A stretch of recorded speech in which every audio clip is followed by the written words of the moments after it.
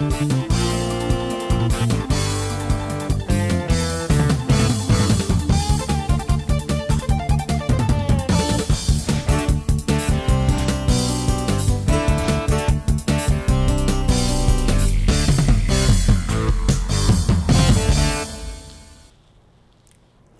chào quý khán thính giả của Bồ Đề Phật Quốc TV.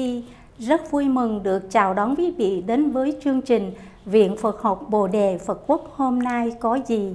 Kính thưa quý vị, vào thứ Bảy tuần qua, học viên lớp cao đẳng được học Kinh Lăng Nghiêm Yếu Lược và Phật Thừa Tông Yếu Luận. Tiếp đó, toàn thể Phật tử được học bổ sung kiến thức Phật Pháp căn bản – Kính mời quý vị lắng nghe sơ lược nội dung các bài giảng sau đây. Trong giờ học kinh thủ Lăng Nghiêm, cô Tam Nhật giảng đến phần nêu ra sáu căn để chỉ chỗ mê vọng. Đức Phật đã giảng giải hai nghĩa quyết định tịnh hóa ngũ trượt và mở gút các căn. Nhưng Ngài A Nan và đại chúng vẫn còn mù mờ, chẳng biết đầu mối ở đâu thì làm thế nào mà mở gút được Phật vì thương xót A Nan và đại chúng cùng chúng sanh đời vị lai mà gieo nhân xuất thế làm đạo nhãn cho đời sau. Phật dạy, đầu mối sinh ra căn bản vô minh khiến ông luân chuyển sinh tử thì đó là sáu căn chứ không phải cái gì khác. Căn và trần đồng một gốc, trối và mở chẳng phải hai bản tánh của thức là vọng như hoa đốm giữa hư không phàm hay thánh đều phải tự mở và mở gút phải có thứ lớp. Phật dạy mở gút phải thứ lớp sáu mở thì một tiêu. Nghĩa là mỗi căn của mình có sáu gút khi cột có thứ lớp thì khi mở cũng phải theo đúng trình tự thứ lớp của nó.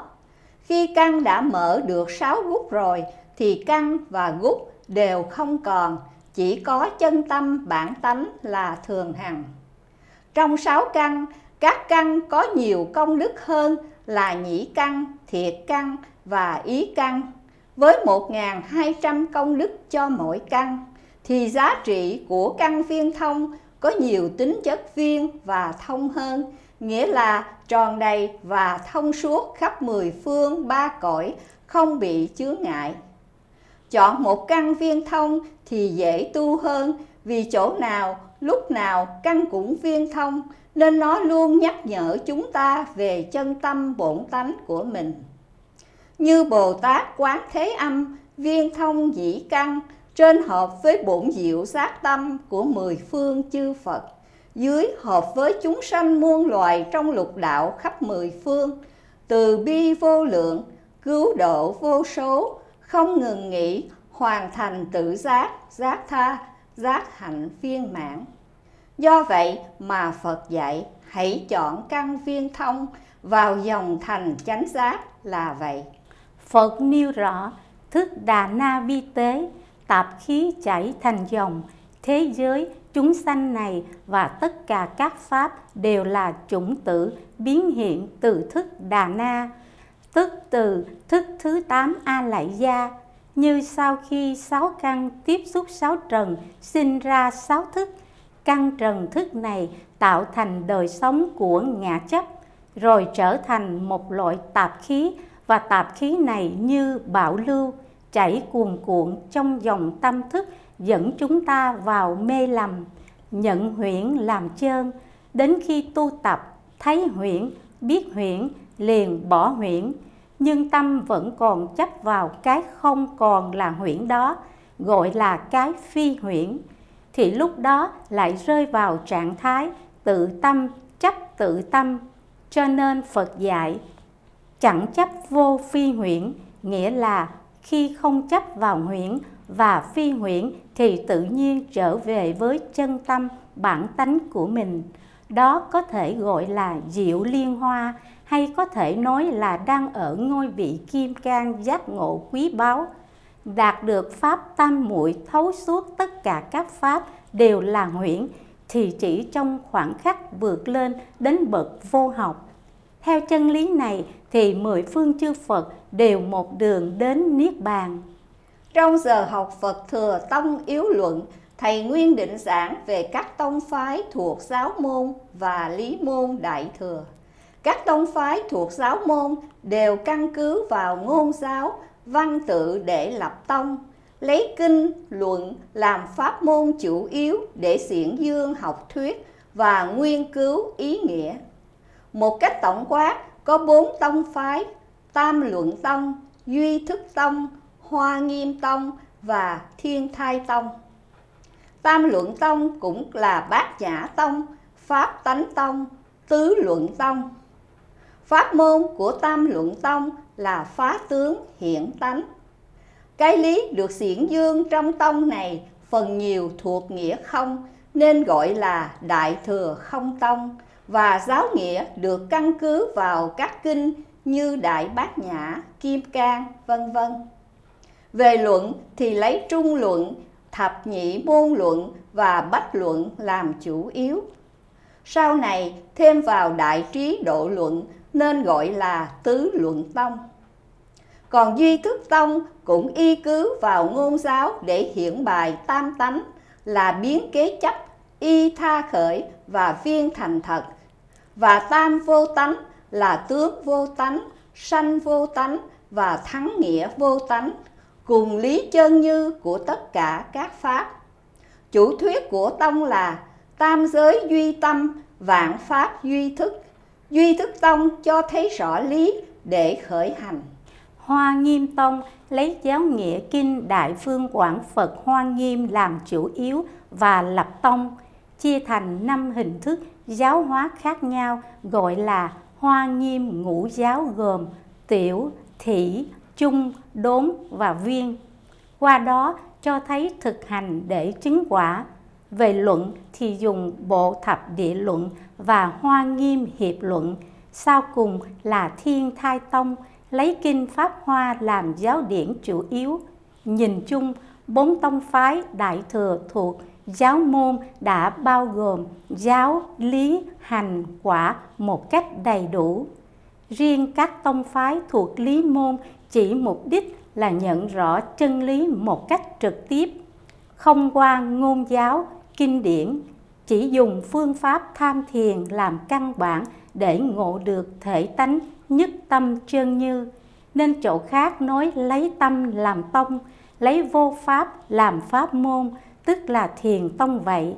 Ngày nay, thiền tông chỉ còn hai tông phái chánh là Lâm Tế Tông và Tào Động Tông. Vào giờ học bổ sung kiến thức Phật Pháp căn bản, Thầy Huyền Châu giảng về Thánh Đế Đạo Diệt Khổ, phần chánh niệm và chánh định. Chánh niệm không chỉ để miêu tả các trạng thái hoặc tính chất một cách đơn điệu mà nó phải đích thực đem tới hữu dụng cho người hành trì. Chánh niệm không chỉ là liều thuốc tốt, là kinh sách quý báu, nhưng nhờ thực hành pháp chánh niệm mà Phật đã chỉ bày, nên con người sẽ vượt thoát vòng trầm luân, lao khổ tuyệt đối. Người này thật sự tư duy về tám khổ, quán chiếu nguyên nhân của khổ và dẫn đưa đến giải pháp chấm dứt nó. Tư duy về đạo diệt cổ không tương ưng với tham sân si, mà niệm niệm tương ưng với tác ý vô lậu.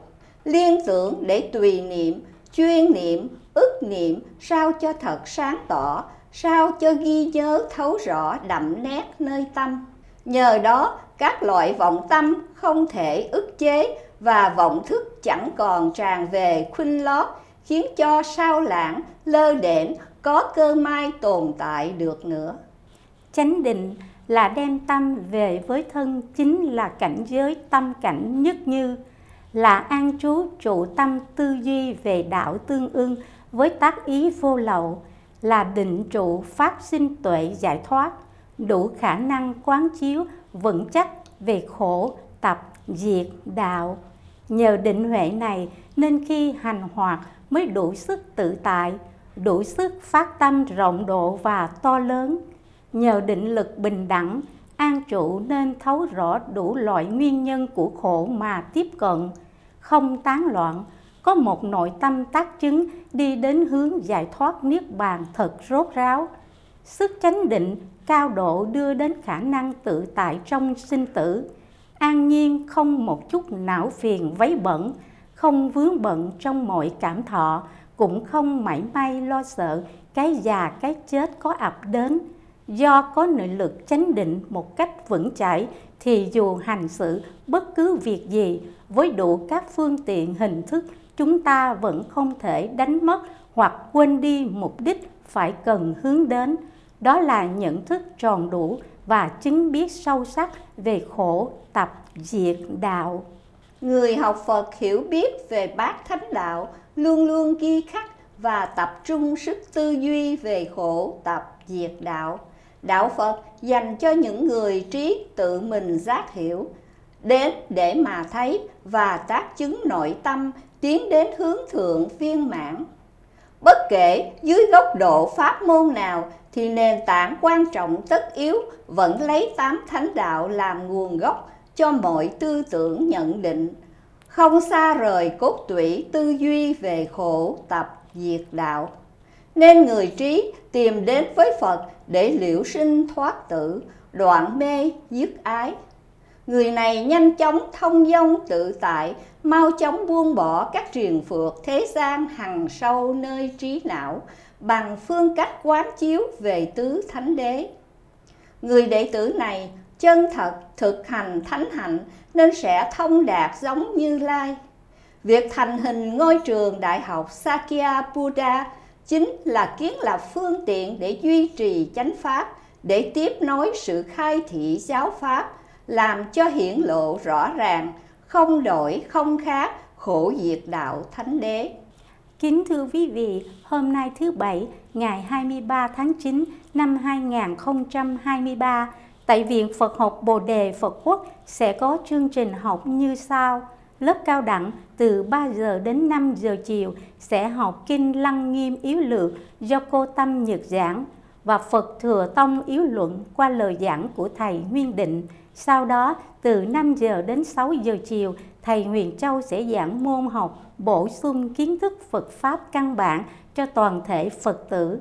Trân trọng kính mời quý vị hãy tham gia chương trình dạy và học tại Viện Phật học Bồ Đề Phật Quốc. Đồng thời, kính mong tất cả học viên đến lớp đông đủ và theo dõi phần giảng của quý giáo thọ để thu thập kết quả tốt nhất cũng như không phụ công sức quý báu mà quý giáo thọ đã dành cho chúng ta. Để được nghe thêm chi tiết của các bài giảng tại lớp cũng như những chương trình hoàng pháp khác, kính mời quý vị tiếp tục theo dõi tại trang nhà bồ đề phật quốc.org.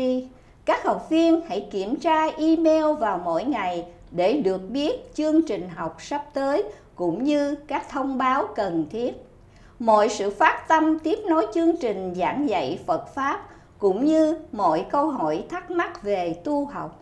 Kính xin quý vị hoan hỷ liên lạc với Thầy Huyền Châu ở số điện thoại 714 328 6087 hoặc đến Bồ Đề Phật Quốc tọa lạc tại 3404 Westminster Avenue, Santa Ana, California 92703. Trân trọng kính chào tạm biệt quý khán thính giả, kính chúc quý vị thân tâm thường an lạc.